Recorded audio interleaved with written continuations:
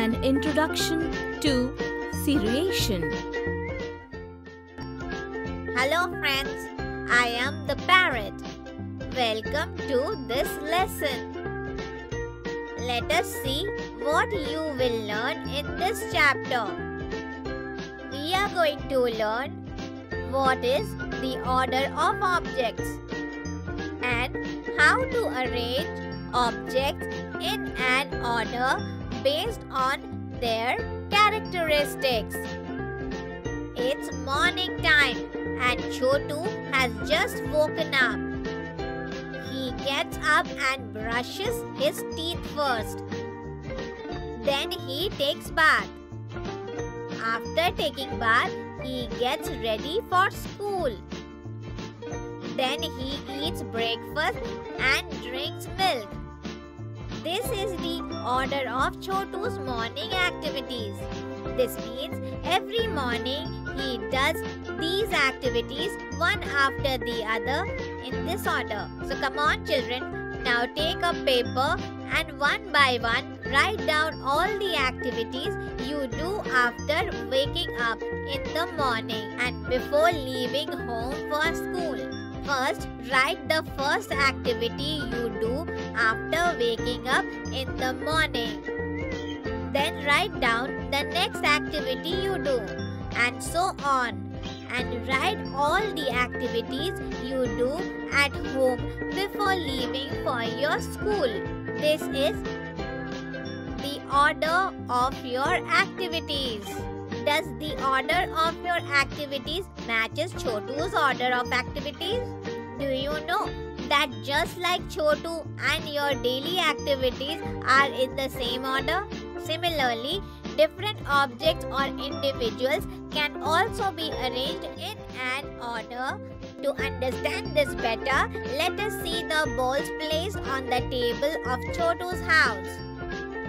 Starting from the left, first is the largest bowl in which fruits are kept. Then a smaller bowl is kept in which Chotu's mother serves curry. And finally, the smallest bowl is kept in which Chotu eats his food. This means, based on their size, these three bowls are arranged in the order from the biggest to the smallest. In this way, objects can be arranged in an order based on any of their characteristics. This process is called seriation. Children, do you also have such bowls of different sizes at home? Can you arrange them in an order based on their size? Now, after eating his morning breakfast and drinking milk, Chotu leaves for school. On the way, he sees a lemonade vendor. The lemonade vendor has three different sizes of glasses. A small glass, a medium-sized glass and a large glass. So children, can we say that all three glasses are placed in an order? Yes, you guys are absolutely correct. Like the bowls, these glasses are also placed in an order. Starting from the left, the smallest glass is kept first, followed by the medium-sized glass, and at the end, the largest glass is kept. This means that all the three glasses, depending on their size, are placed in an order from small to large size. Do you understand? Chotu gets tempted and asks the lemonade vendor for a small glass of lemonade. Then he quickly drinks lemonade and leaves for school.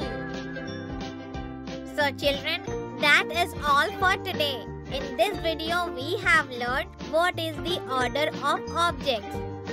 How objects are arranged in order from largest to smallest or smallest to largest depending on their characteristics.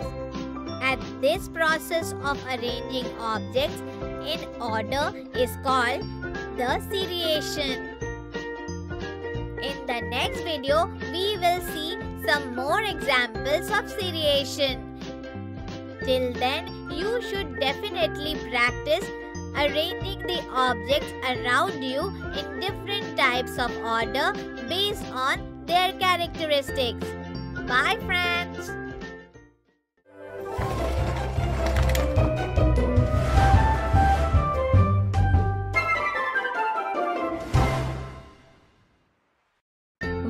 The examples of seriation? So, children, in the previous video, you have learned what is the order of objects. Based on the characteristics of the objects, how they are arranged in large to small or small to large order. And this process of arranging things in order is called seriation. In this video, we will see some examples of seriation in which we will arrange different people and objects in order based on their characteristics. Today, Chotu's class is going for a picnic. And Chotu's teacher asks all the children to stand in groups of four. Then she asks the four children to stand in a line in the small to large order based on their height. Chotu and his three other friends, Aarti, Neha, and Sonu, begin to stand in a line. First of all, being the shortest among all the four children, Chotu stands in front. Neha, who is taller than him but shorter than the rest, stands behind him. Sonu stands behind Neha. Then finally, Aarti stands behind Sonu. But Sonu just notices that he is taller than Neha, but fails to notice that Aarti is shorter than him. So, children, are Chotu and his friend standing in the correct order of height? Chotu and Neha are standing in the right order, but Sonu and Aarti are not. Aarti realizes this as she is not able to see anything by standing behind Sonu. Therefore, Aarti should have stood in front of Sonu as she is shorter than Sonu in height but makes Sonu realize his mistake. Sonu, just now you saw that you are taller than Neha, but you did not see that also shorter than you. I am taller than Neha and shorter than you. So I should stand behind Neha, whereas I should stand in front of you. Oh, yes, Aarti, you are absolutely right. So, children, while making the order, Sonu saw that he was taller than the children standing in front, but he did not see whether the children who were not standing in the line are shorter in height than Sonu, and hence he made this mistake. Finally, Chotu and three of his friends stood in the correct increasing order of their height, that is, from short to tall. Children reach the park for a picnic. There, Chotu and his friends decide to play seven stones. First of all, Aarti and Chotu start making a pile of stones based on their size from big to small. For this, Aarti gathers four stones from the surrounding. Then she puts the biggest stone at the bottom. To keep the rest of the stones, she asks for Chotu's help. Chotu, now out of the remaining three stones, put the largest stone on this stone. But Aarti, why are we placing these stones in the big to small order? If we place a large size stone on a small size stone, then it will fall down because its balance will be disturbed. Look Chotu, just like this. Therefore, we will place a big stone at the bottom and then smaller than that so that the balance of the stones is maintained.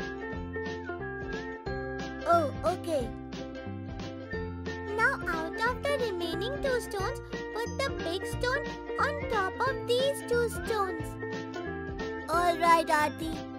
And now let's also put the last stone. Very good, Chotu. Now our stone pile is ready. Come on, let's place seven stones now. Children, in this example you saw how Chotu and Aarti made a pile of stones by keeping them in the decreasing order of their size, one by one, that is from large to small size. So children, tell me, did you enjoy seeing examples of seriation? Okay, so that's all for today. In this video, we have learned how to organize different people or objects in order from small to large or from large to small. I hope you have understood this topic properly. Bye friends.